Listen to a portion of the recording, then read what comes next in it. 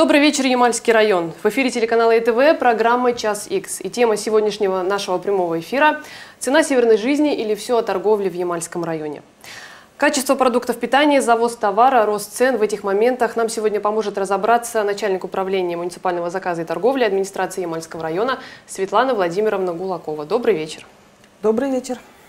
И перед тем, как начать нашу беседу, я предлагаю вашему вниманию и вниманию наших телезрителей один небольшой сюжет. Смотрим.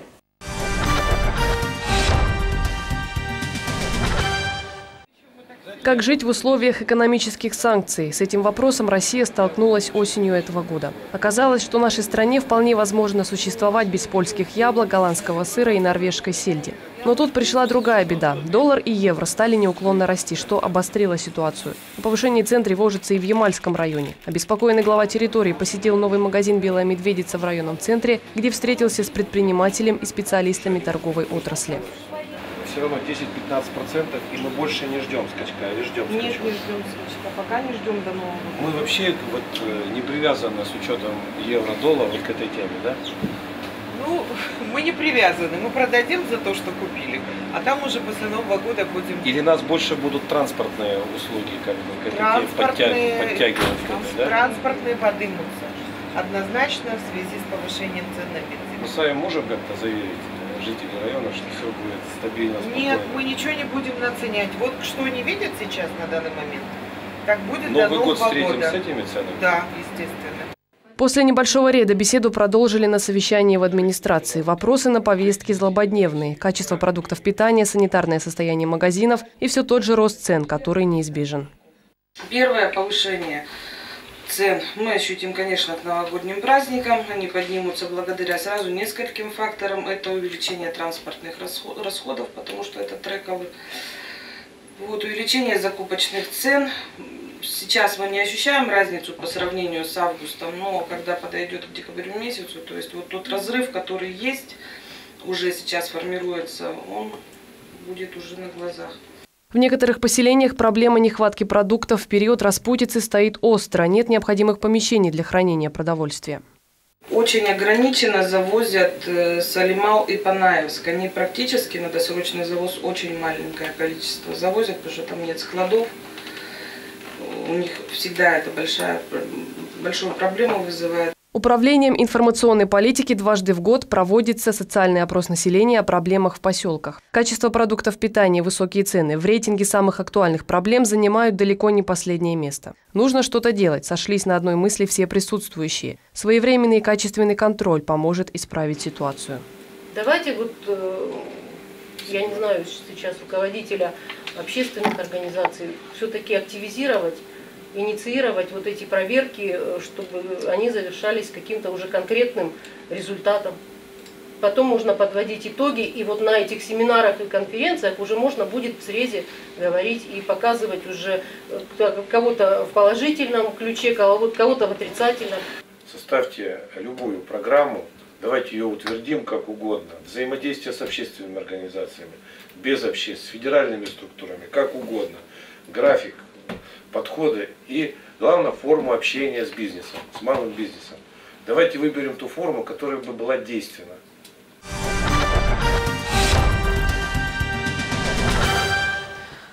Ну, с вами увидели этот сюжет. Скажите, Светлана Владимировна, все-таки какая форма взаимодействия районной власти с предпринимателями избрана и какие рычаги есть у власти влияния на коммерческую деятельность?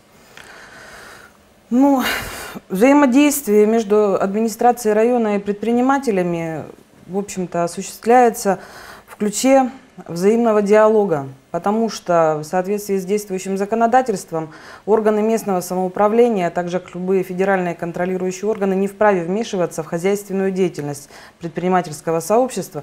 Однако для того, чтобы влиять как-то на ситуацию, мы ведем постоянный диалог – мы говорим об уровне цен, о качестве торговли. На последнем совещании нами было принято решение проводить обучающие семинары э, работникам торговли для того, чтобы повысить качество обслуживания, потому что непрофессионализм в сфере торговли на сегодня это, в общем-то, достаточно больная тема.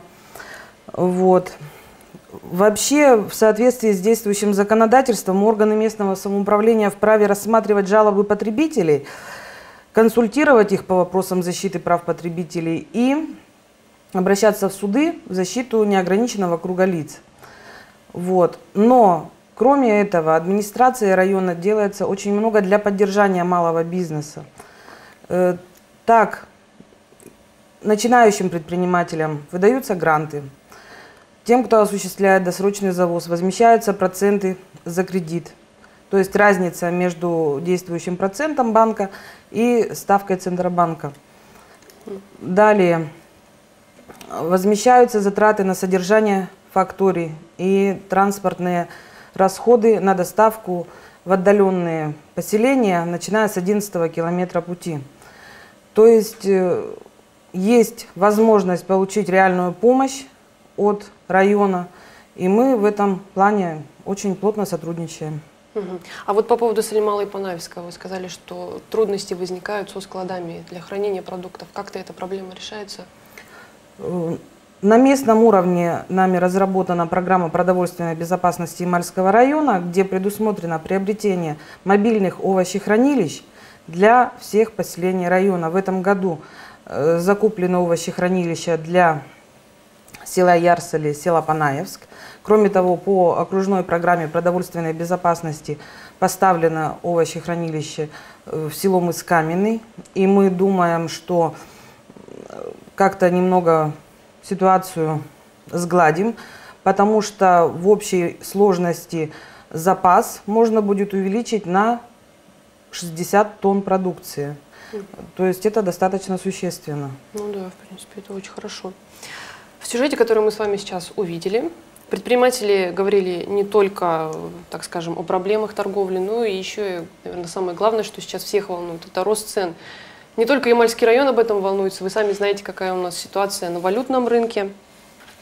Вся страна обеспокоена ростом цен на продукты. Давайте узнаем мнение наших односельчан. Как они считают, на какие продукты в Ямальском районе поднялись цены. Смотрим.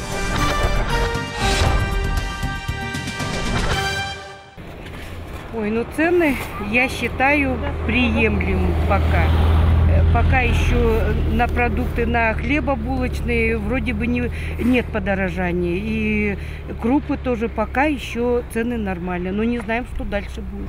Ну, в принципе, повышаются, я не знаю, мне кажется, там на земле, если повышается, естественно, любой предпри предприниматель себе в убыток, не в убыток, не будет работать. Угу. Вот. Ну, думаю, что они свыше 94% не наценяют. Ну, если честно, да, немножко. А на какие продукты? В основном молоко, растительное масло видела. Ну и, ну и как-то сильно не обращала внимания. Ну, заметила, повышается вроде. На какие продукты? Мне кажется, на все наименования есть какое-то подорожание. Особенно вот, вот сейчас в это время. Не знаю, вроде высокие. То есть вы заметили повышение цен? Ну, так дороговато, конечно. А на какие продукты? Ну, не могу сказать никакие. Последний раз ходила, вроде бы купила-то ничего, а ушло много. Я не местный, по сравнению с Тюменью, высокие. Я думаю, все, все в порядке. Все хорошо? Да, не э, да нет, главное были бы деньги. На хлеб хотя бы. На хлеб, на масло. Масло, например, дорогое вообще. Подсолнечное, сливочное? Нет, сливочное. Ну и подсолнечный тоже. Угу. На крупы, может быть, на молочную продукцию.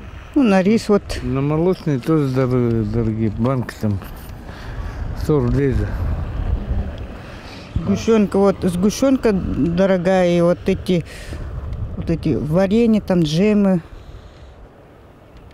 Постоянно цены поднимаются. Дорого. Вот по сравнению с Рихардом дорого. Я уж не говорю про Тюмень. А замечали повышение цен на отдельные продукты? Хлеб, если заметили, на прошлой неделе стоил еще 30 рублей, сегодня 33. Ну, где-то что-то дешевле, где-то что-то дороже. Ну, рынок, рынок диктует свои цены, так что тут... Повышение цен не замечали ни на какие продукты? Да вы знаете, я уже как-то с этим смирился. Так что, может, где-то и были какие-то повышения, но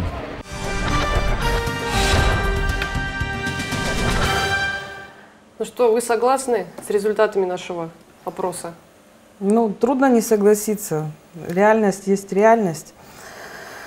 Согласно проведенного мониторинга за месяц, за период с 17 декабря,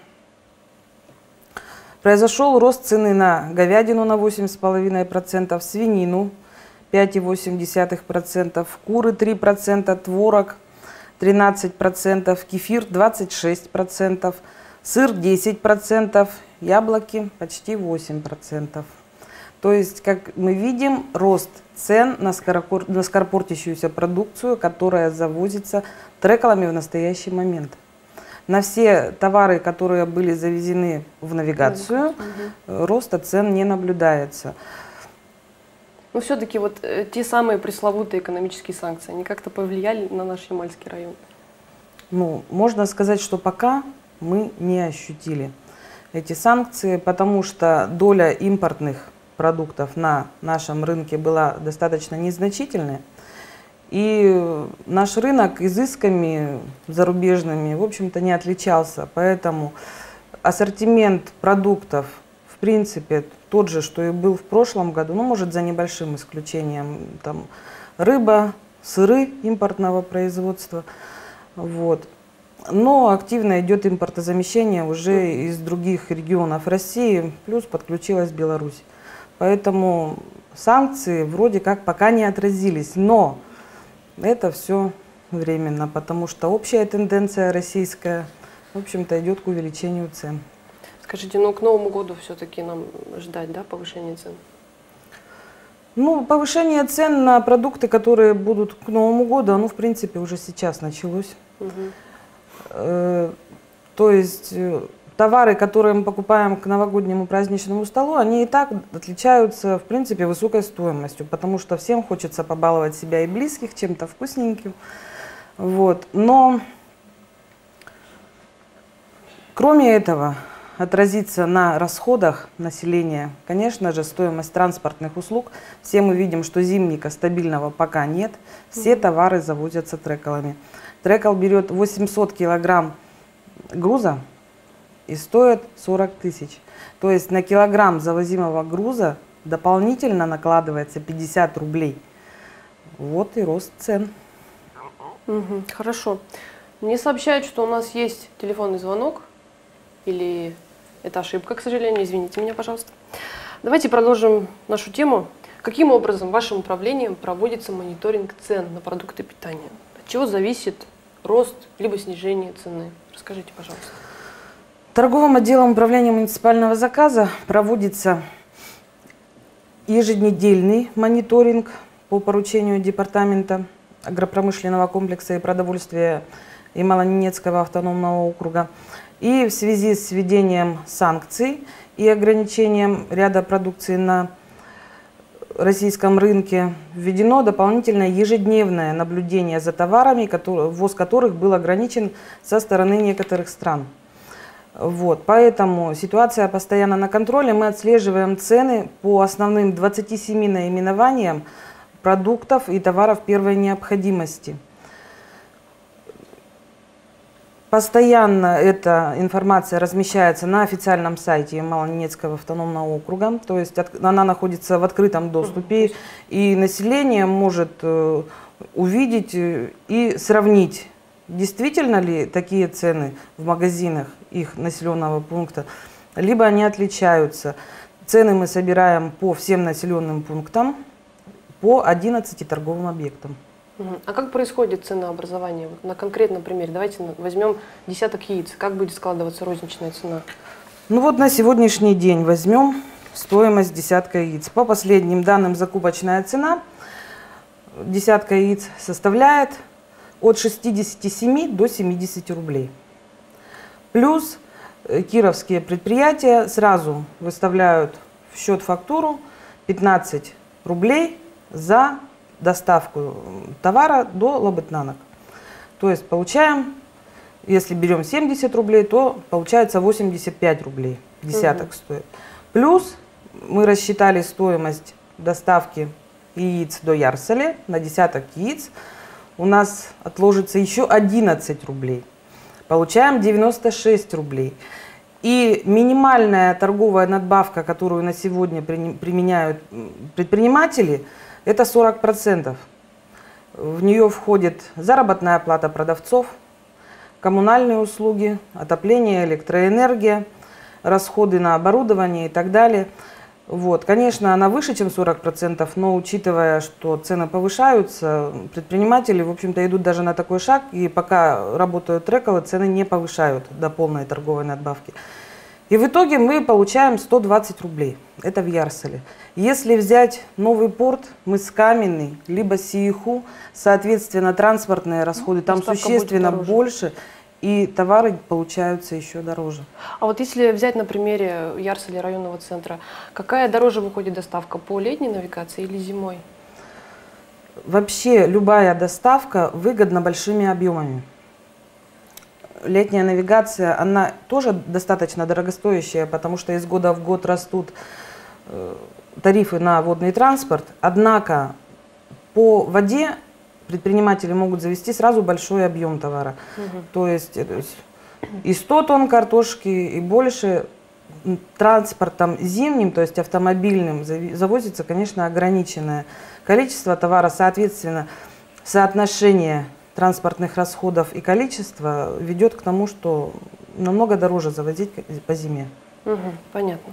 Я напоминаю, что мы работаем в прямом эфире и ждем ваших звонков. Звоните, наш телефон 302-36. Наши корреспонденты провели небольшое расследование по ценам в магазинах. Давайте посмотрим, что из этого получилось.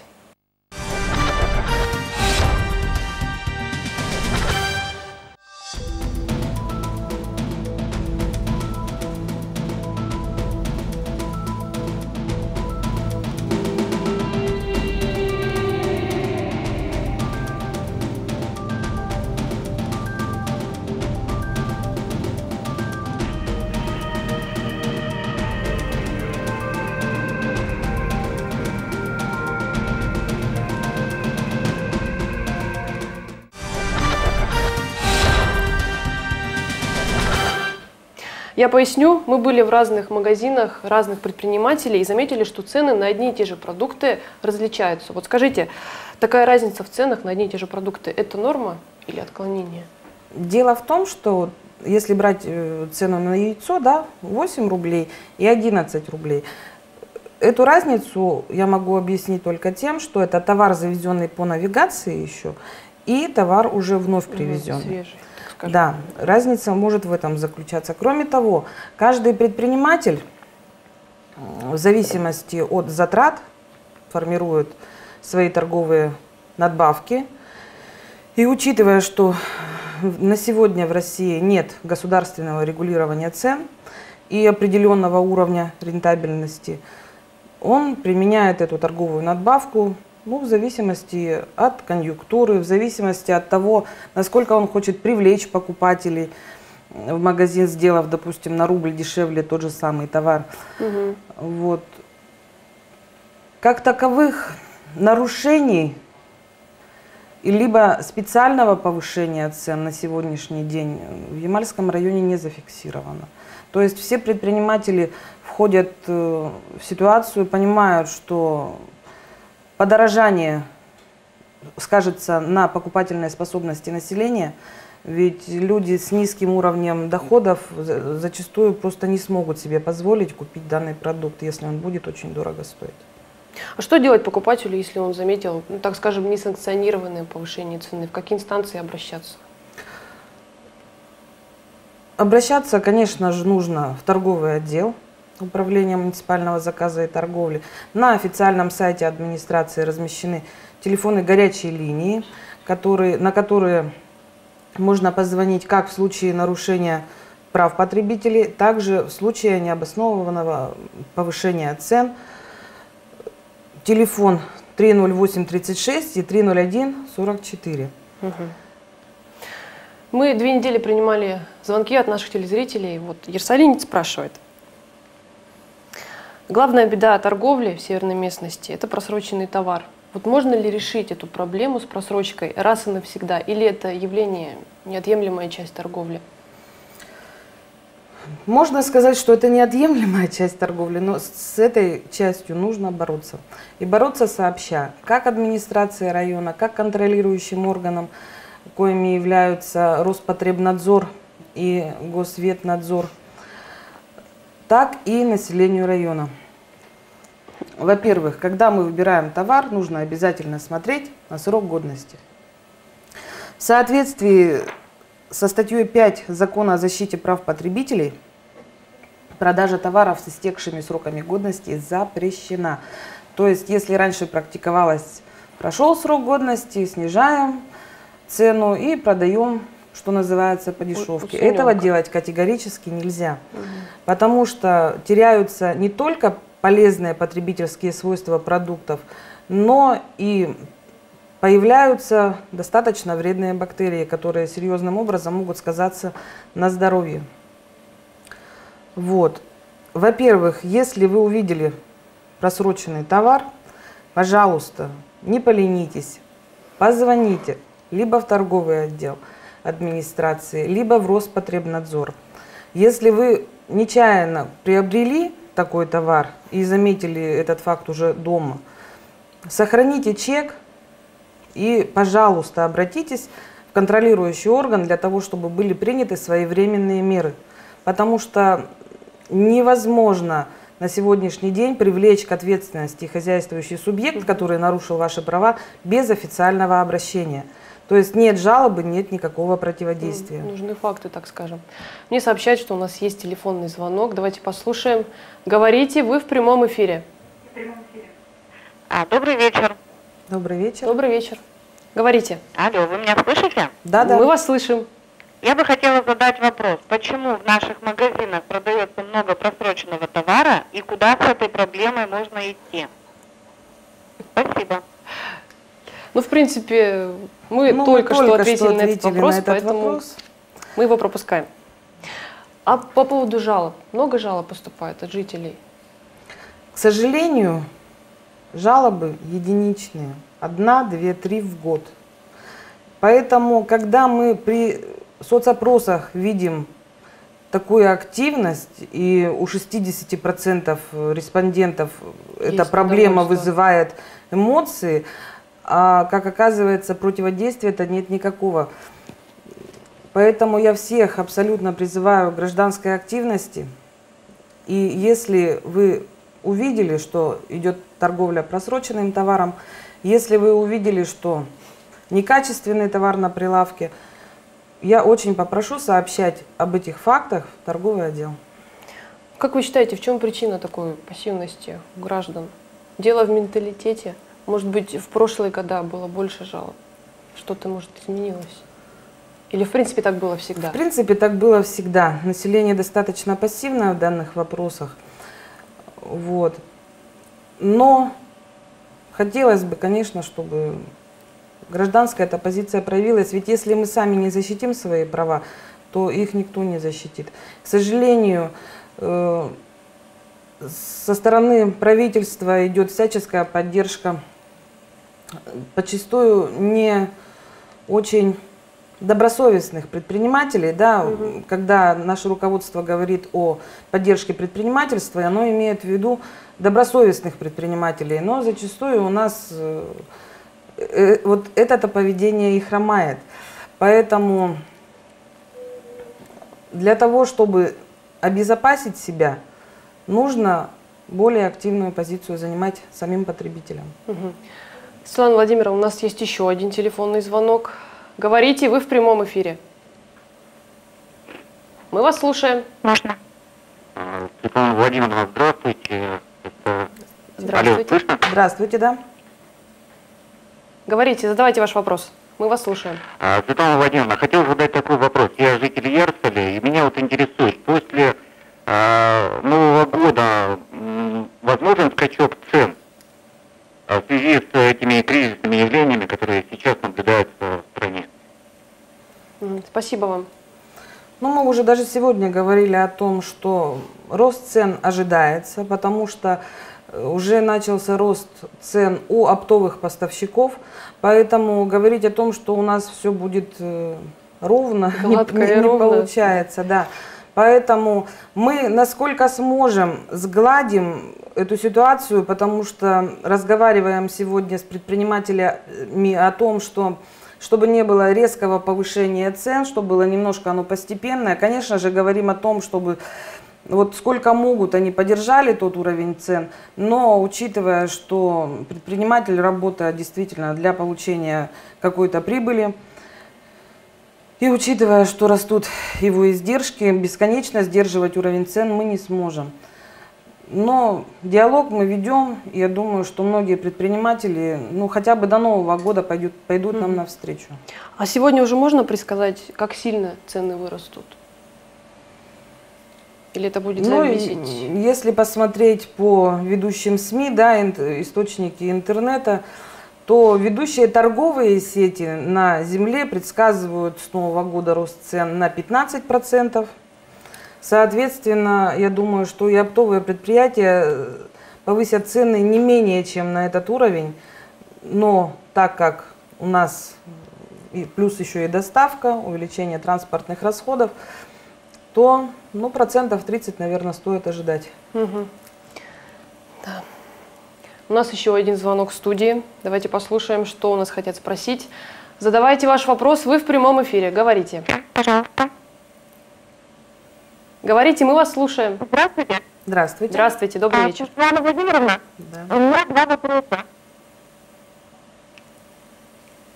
Мы, мы вас слушаем. слушаем. А, я хочу спросить э, следующее. Э, раньше алкоголь продавался до 8 часов вечера, а сейчас до 10. А, с чем это связано? Это первый вопрос и второй. И а второй вопрос. Говорите, говорите, говорите, мы вас слушаем. А, хочу спросить по поводу санитарного состояния магазина. Холодильники открытые стоят, продукты все портятся.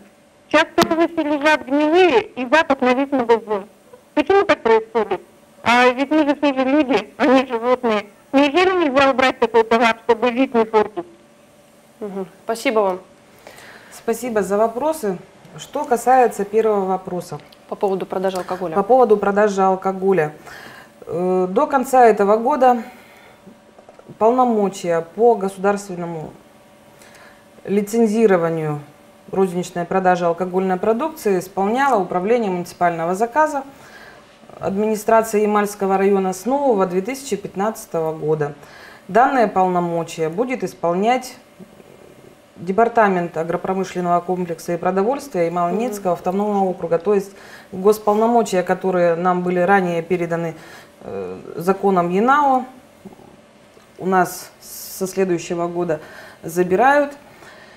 И, соответственно, забирают полномочия по ограничению, по дополнительному ограничению розничной продажи алкогольной продукции.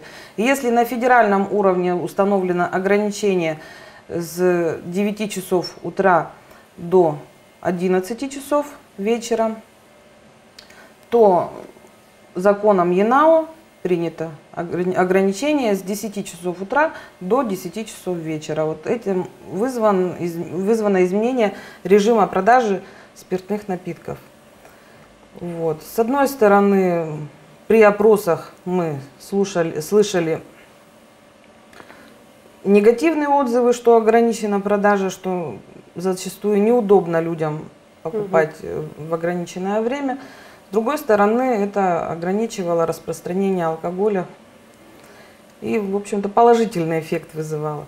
Что касается второго вопроса. По поводу санитарного, По поводу состояния. санитарного состояния. В советской торговле раньше существовала поговорка «магазин начинается с тряпки». Вот это же я хочу посоветовать всем продавцам Ямальского района. Не сидеть за прилавками с телефонами, с наушниками, а заниматься тем, чем должен заниматься продавец. Вот. Это во-первых. Во-вторых, во всех магазинах должен быть установлен санитарный день.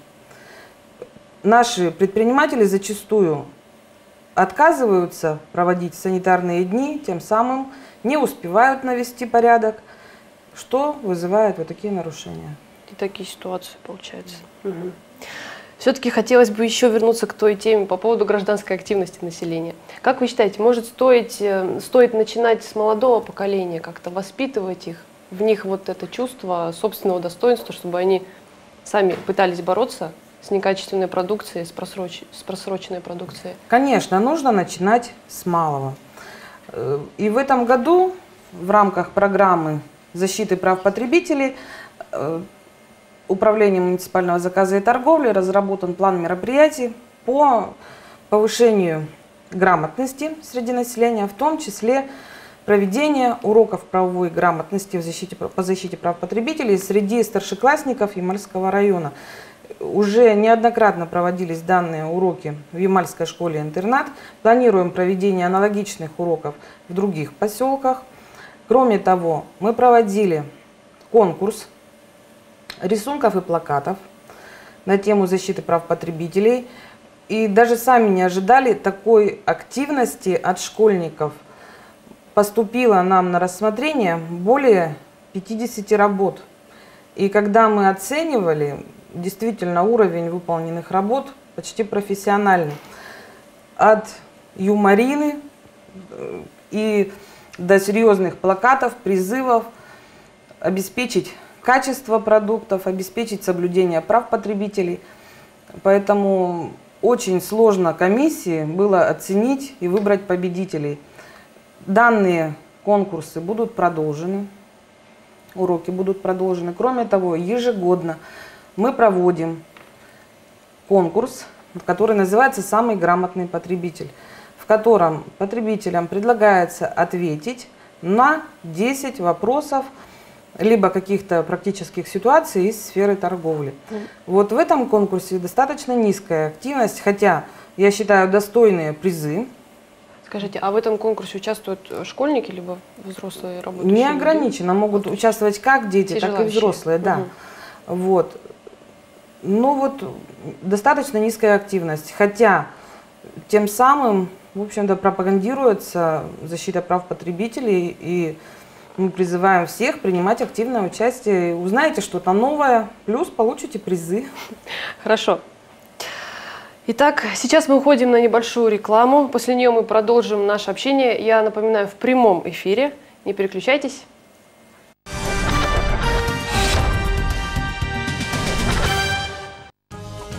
Уважаемые жители Ямальского района, руководители организаций всех форм собственности, открылась подписная кампания на районную газету «Время Ямала» на первое полугодие 2015 года. Подписаться на районку вы можете в информационном агентстве ЯТВ по адресу село Ярсали, улица Кугаевского, 9, либо в отделении Почты России. Вы также можете оформить подписку с любого номера газеты. Стоимость подписки на полугодие 236 рублей. Будьте в курсе всех событий района вместе с нами, с информационным агентством ЯТВ.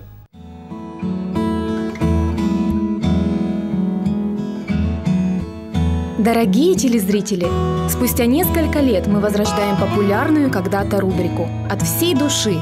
Такое название получила новая передача по вашим заявкам. Вы хотите поздравить с днем рождения или есть повод сказать приятные слова вашим близким? А может быть у кого-то юбилей?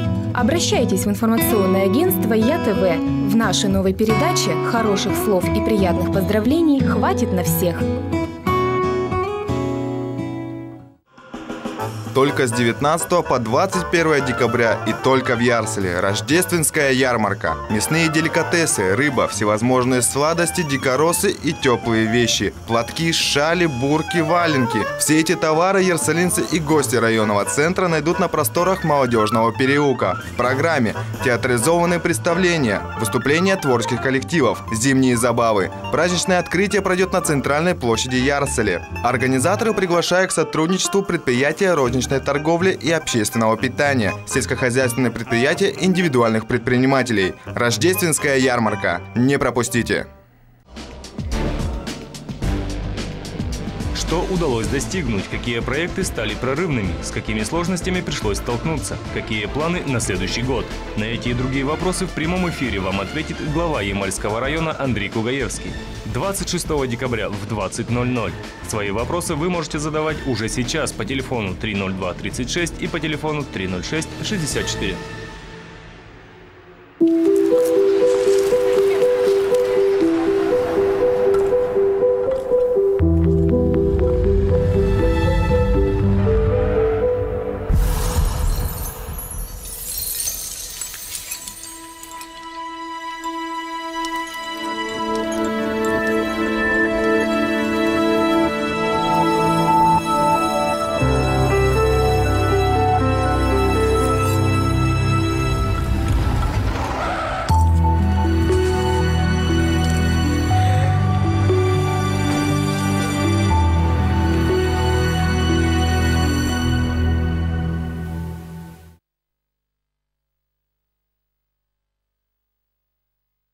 Мобильный телефон – ваш друг и помощник.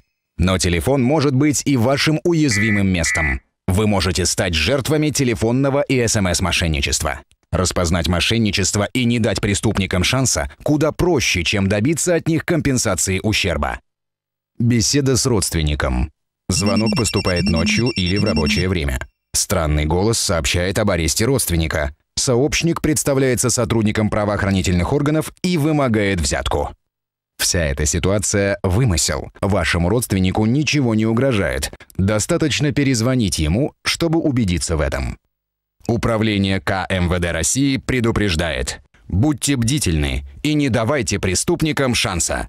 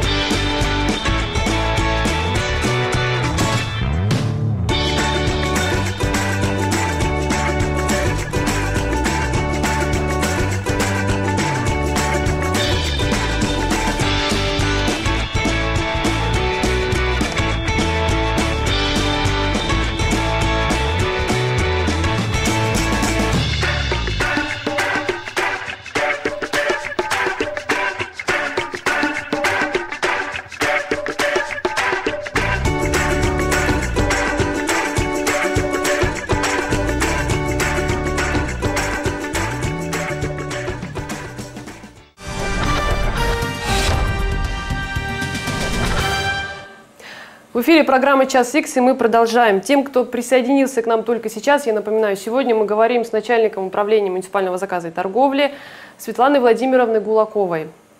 Но у нас снова в студии еще один звонок, поэтому давайте узнаем, что интересует наших жителей. Говорите вы в прямом эфире.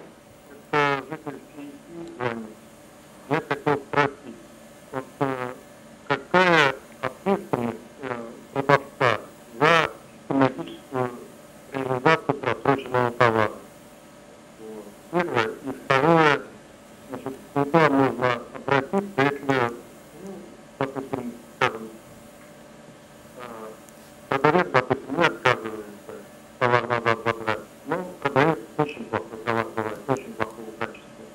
Куда можно, скажем так, жалобы на него обратиться? Хорошо? Угу.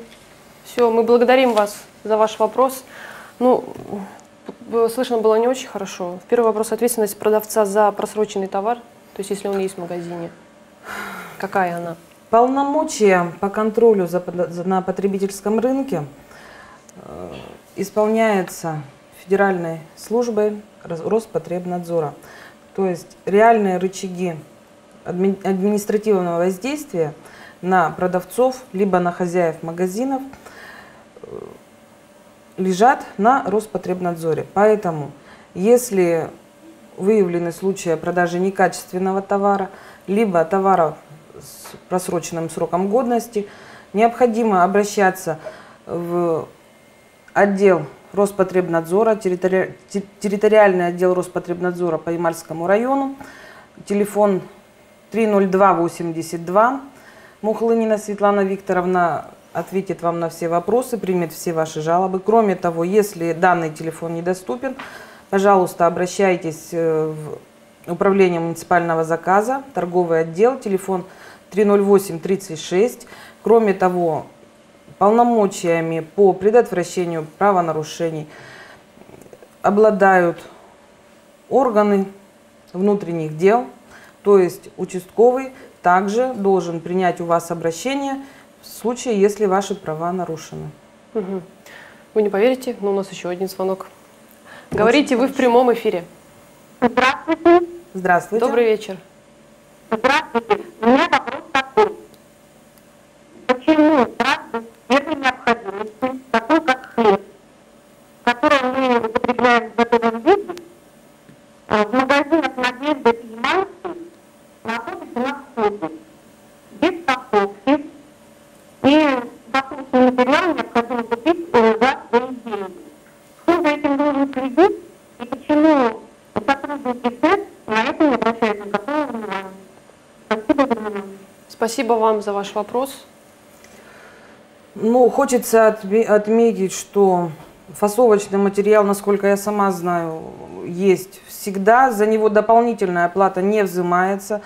Если товар не упакован, либо нет э, фасовочных пакетов, вы можете обратиться к продавцу, я не думаю, чтобы вам кто-то отказал. Почему сразу не затаривают хлеб? Дело в том, что его привозят с пекарни горячим, и если его сразу упаковать mm -hmm. в полиэтиленовый пакет, он отмокнет, и качество будет совершенно не то. Вот. Что касается дополнительного взимания платы, в общем-то, я первый раз слышу от покупателей. Мы проверим обязательно данный факт. И после рекламы у нас уже третий телефонный звонок. Говорите, вы в прямом эфире. Говорите, пожалуйста. Добрый вечер, мы вас слушаем.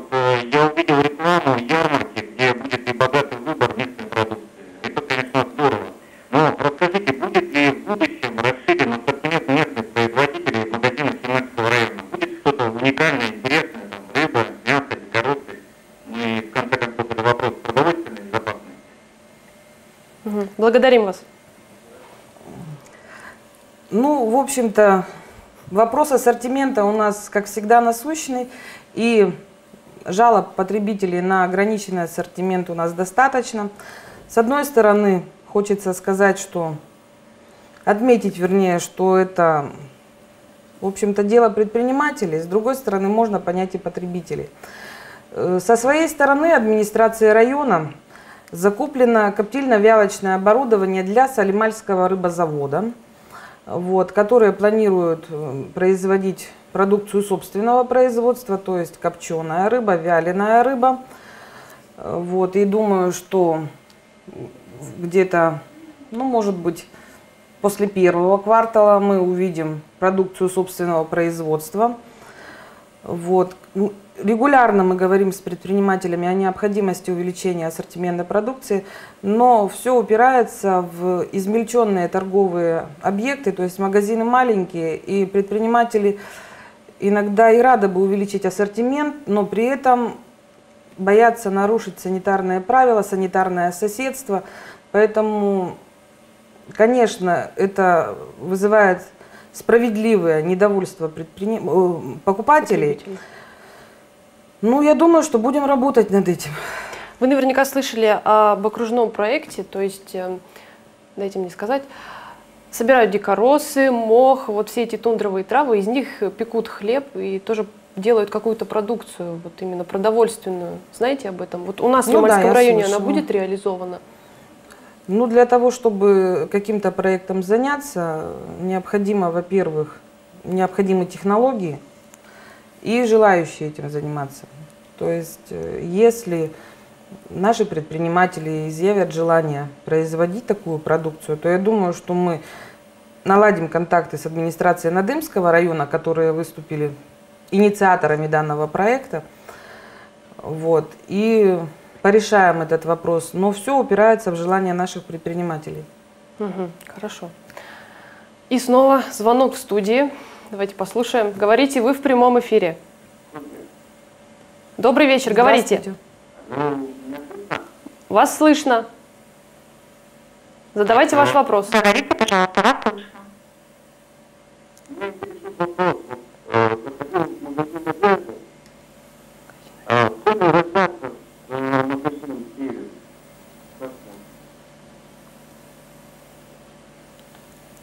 Очень плохо слышно было, к сожалению. Я не разобрала, то ли Я это был магазин Надежда и Северный. Да. да, почему разнятся цены? Тут, конечно, больше вопрос к предпринимателям, почему в одних и тех же магазинах разные цены. Ну, с одной стороны, можно, наверное, объяснить э, тем, что это товар разной поставки, то есть в одном магазине остался данный товар, а в другой завезли уже товар нового завоза. Но по моему мнению, такое, до такого допускать нельзя. Потому что все покупатели имеют равные права на приобретение того, одинакового товара по тем же ценам. Поэтому в случае выявления таких фактов я вас очень попрошу обращаться в торговый отдел по телефону 308-36 для того, чтобы каждый факт подобный был выявлен и были приняты какие-то действия. Угу. У нас есть еще один интересный материал для просмотра. Недолгий молочный кризис случился в районном центре. Смотрим.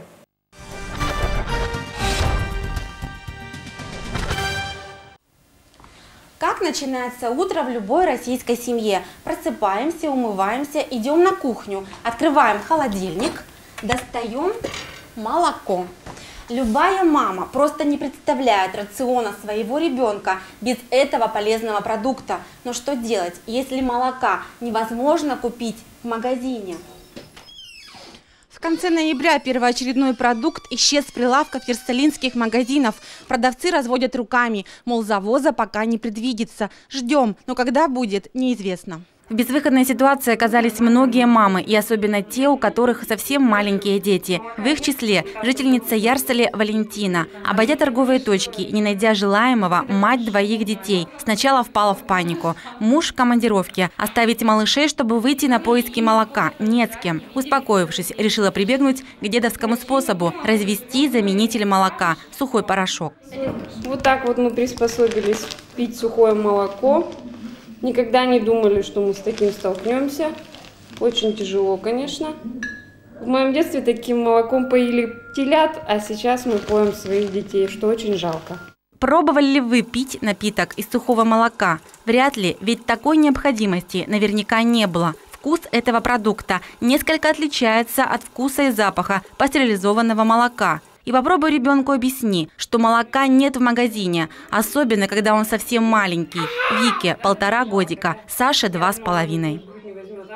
Ну, она пьет, конечно, но очень тяжело, ноет, стонет. Ну, как ребенка успокоишь, если она говорит «кока, кока, кока», а ты не знаешь, что сделать и что дать ребенку. В рацион ребенка 1-3 лет обязательно входит молочная каша, кефир, творог и непосредственно само молоко. Без первоочередного продукта ни одно из этих блюд детского питания приготовить просто невозможно. Как сказывается на организме ребенка нехватка кальция, которым и богато молоко? Спросим у медицинского работника. Нехватка кальция в организме ведет к остеопорозам и кариесом. А, а, а вообще низкое потребление молока или вообще его отсутствие влияет не только на костную систему, но и на нервную систему, потому что в молоке содержится метионин, а он участвует в образовании и ферментов пищеварительной системы, э, содержится галактоза, которая необходима для строительства нервной системы.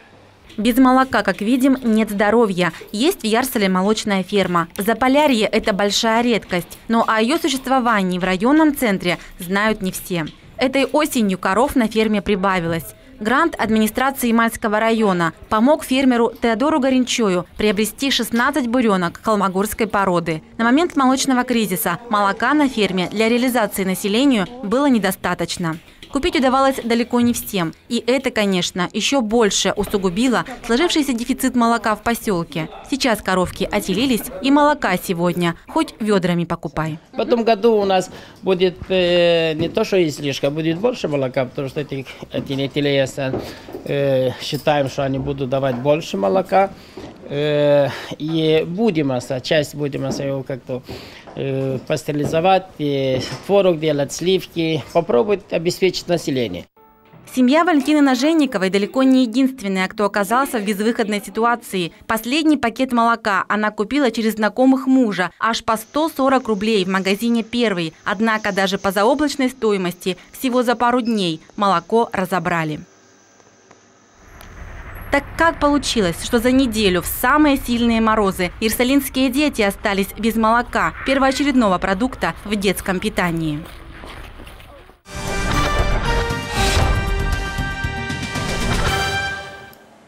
На всех жителей районного центра, как показал сюжет, молока не хватило, к сожалению. В чем причина такого промаха, как вы считаете? Ну, основной причиной является тот факт, что на обеспечение учреждений социальной сферы, школы, интернат и садика вышли сторонние организации, которые своевременно данный контракт не выполнили.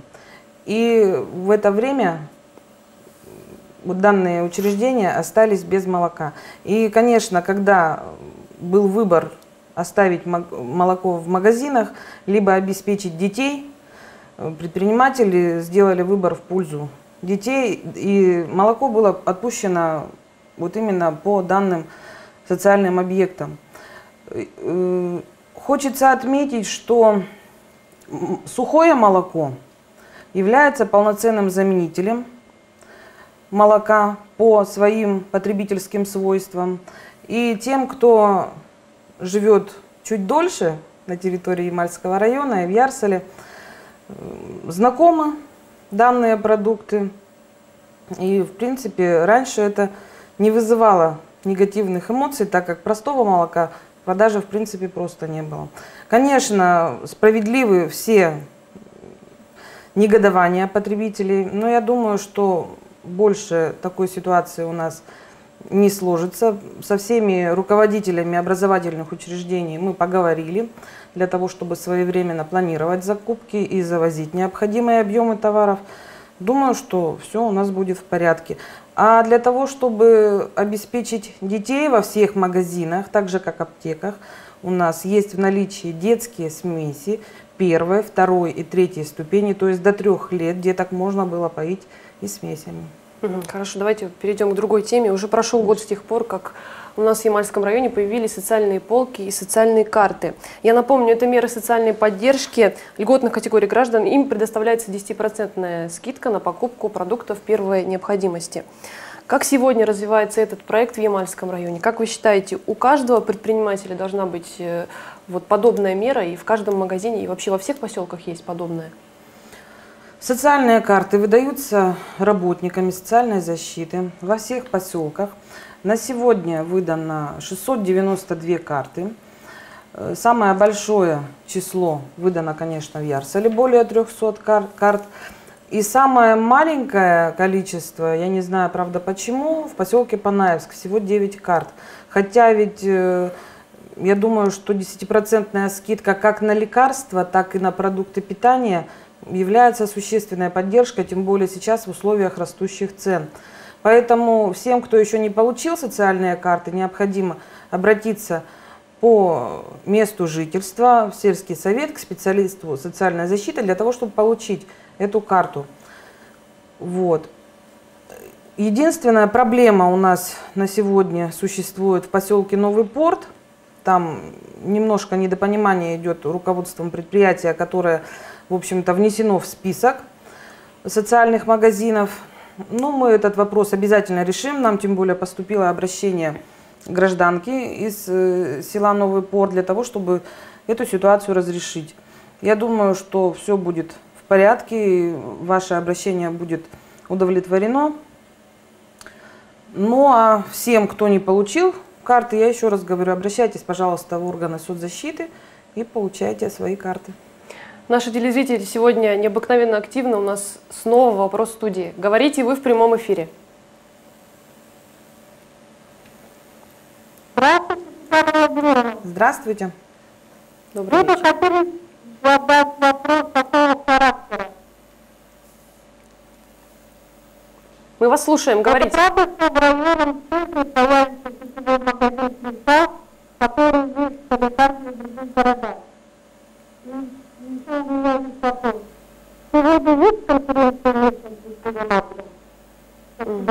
Благодарим вас. Правда ли, что в районном центре появится сетевой магазин «Кристалл», как в городе Салихарде? И второй вопрос. Есть ли сегодня конкуренция местным предпринимателям, которые уже продолжительное время здесь работают? Ну, на сегодняшний день обращение от руководства торговой сети «Кристалла» в администрацию района не поступало.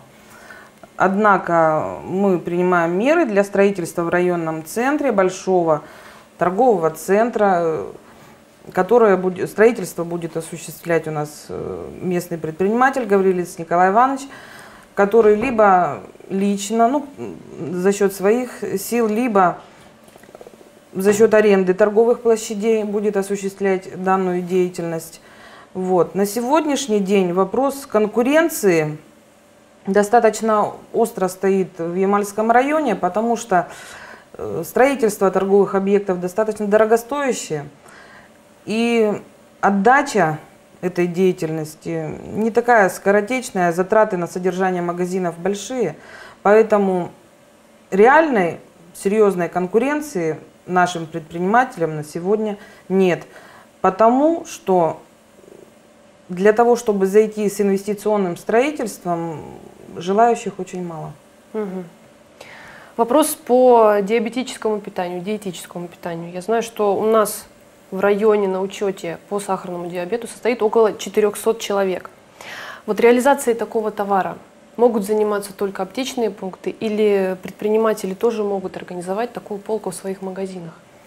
Для реализации данного вида продукции не требуется никакого вида лицензий, разрешений. То есть э, данным товаром могут торговать как аптечные пункты, так и предприятия розничной торговли. На сегодня я знаю, что данная продукция есть в новой аптеке, которая открылась, да, градусник, там достаточно так. широкий ассортимент. Э, кроме того, в нашей муниципальной аптеке тоже бывают продукты диетического питания. Ну, а предпринимателям нашим, наверное, нужно прислушаться к пожеланию населения для того, чтобы у них в продаже появились тоже продукты диетического питания. Угу, хорошо, спасибо. В одном из актуальных интервью вы рассказали, что участвуете в проверках правоохранительных органов на наличие контрафакта. Вот случаи обнаружения контрафакта часто бывают? Вы знаете, достаточно часто. Ведь если пойти нам на местный рынок, то можно неодно... увидеть в продаже куртки Adidas, кроссовки Nike и все в таком роде. Причем все это за достаточно сносную цену. Так вот, для того, чтобы применять данные торговые марки, названия, у производителя должно быть соглашение с фирмой, которая является правообладателем данной торговой марки зарегистрированы. Конечно, трудно себе представить, чтобы одежда с рынка была, имела какие-то лицензии либо разрешения.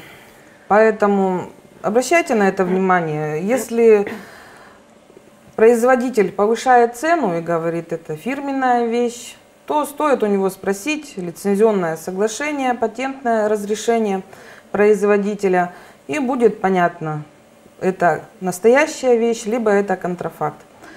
Кроме того, контрафактными являются в основном видео и аудиозаписи воспроизведения на дисках, что тоже можно встретить на наших рынках. Угу. У нас еще один звонок в прямой эфир. Говорите, мы вас слушаем. Говорите, вы в прямом эфире. Здравствуйте. Здравствуйте. Здравствуйте.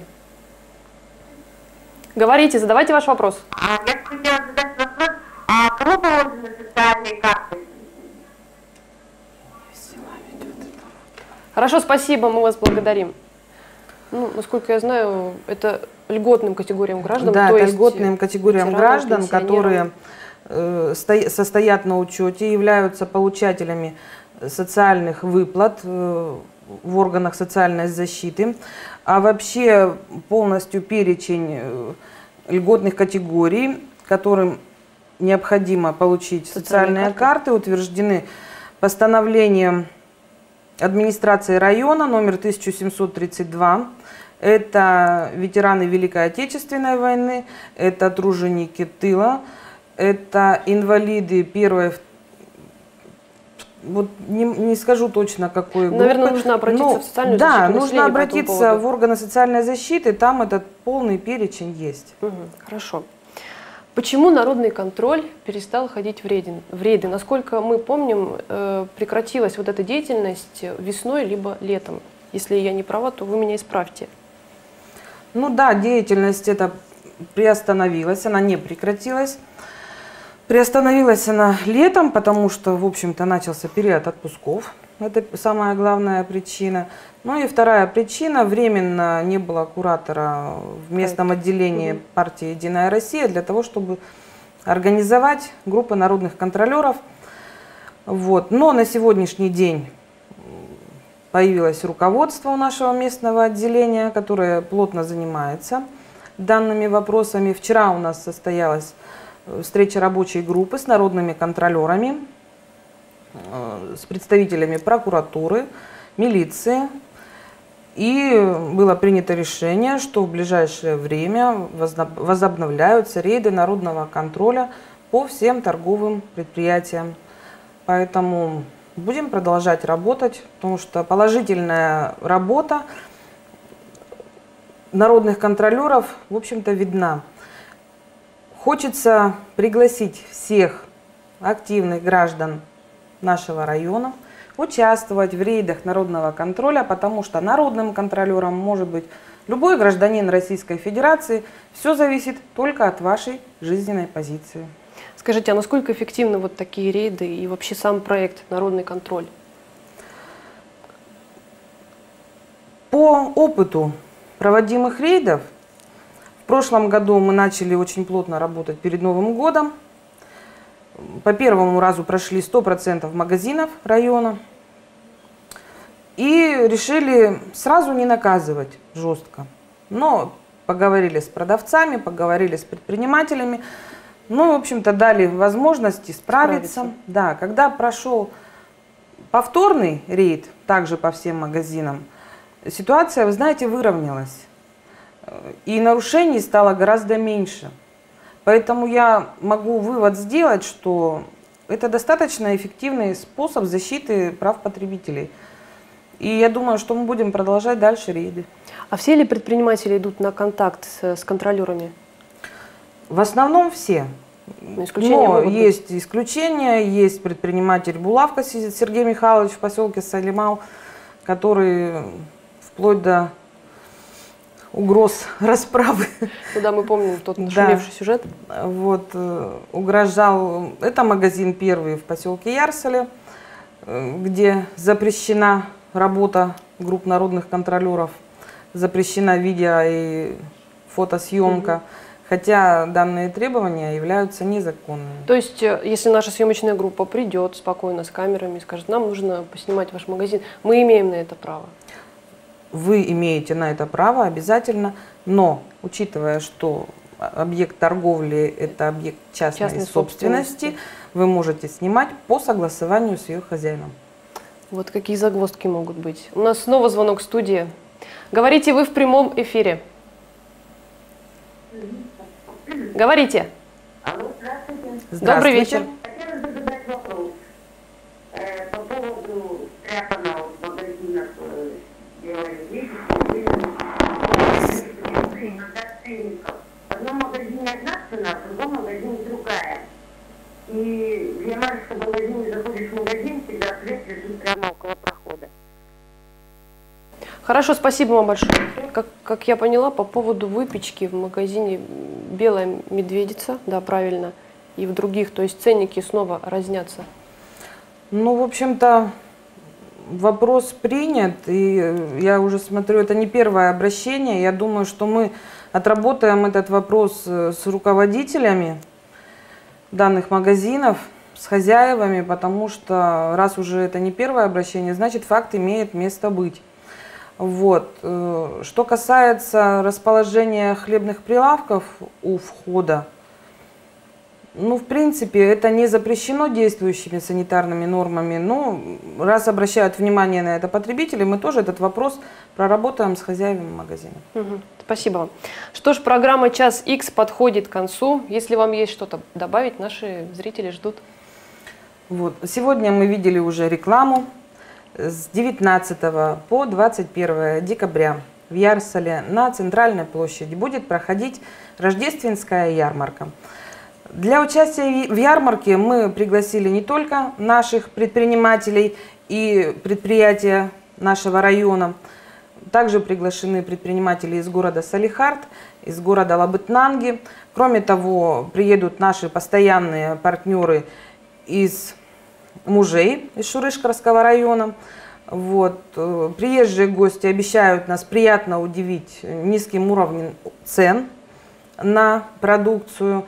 Будет представлен широкий ассортимент продукции национального производства, то есть это и бурки, и пушнина.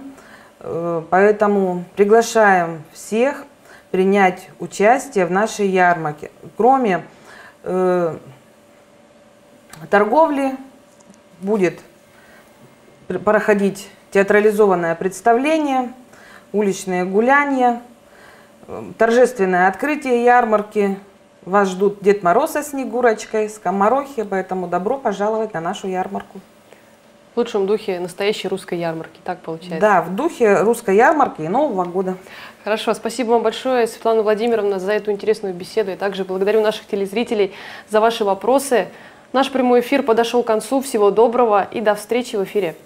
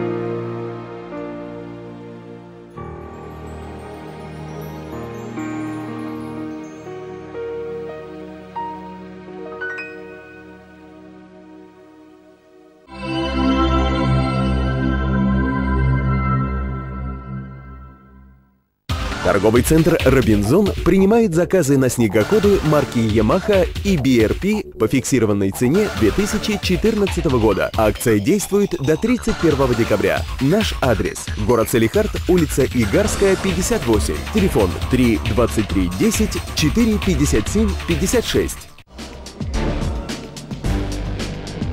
Что удалось достигнуть, какие проекты стали прорывными, с какими сложностями пришлось столкнуться, какие планы на следующий год. На эти и другие вопросы в прямом эфире вам ответит глава Ямальского района Андрей Кугаевский. 26 декабря в 20.00. Свои вопросы вы можете задавать уже сейчас по телефону 302 36 и по телефону 306 64.